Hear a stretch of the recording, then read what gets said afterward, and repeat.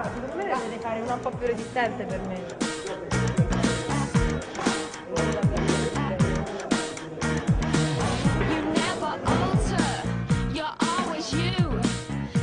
Con Noemi non è facile perché Noemi ha delle radici molto profonde, quindi sradicare Noemi è stato molto duro. No, però volevo, volevo mettere anche il mio passetto quello.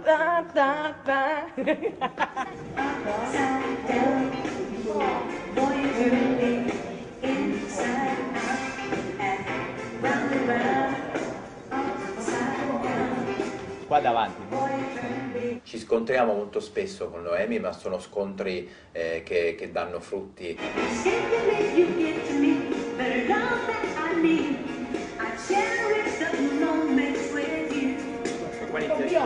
Simply Tu lo segui, lo guardi un po' snob perché il giochetto dovrebbe essere upside down you're turning me, lei ti lo dice un po' con un'attitudine un po' tipo da fighetta, lei Sì. sa vuole tirare un po', no? Ah, sì, sì, sì. Quindi sì. è carino che creiamo questa cosa che ogni tanto sei tu che ti, ti concedi un po', E poi- ti richiudi e poi poi, è- lui. Lei si sente adesso un po' più matura e questa maturità le dà un po' di sicurezza e quindi lavorare con una persona che si sente un po' più sicura adesso eh, dovrebbe essere anche un po' più facile, quindi si è, si è un po' ammorbidita anche negli atteggiamenti Noemi, quindi eh, spero che possiamo fare dei passi anche un po' più grandi insieme.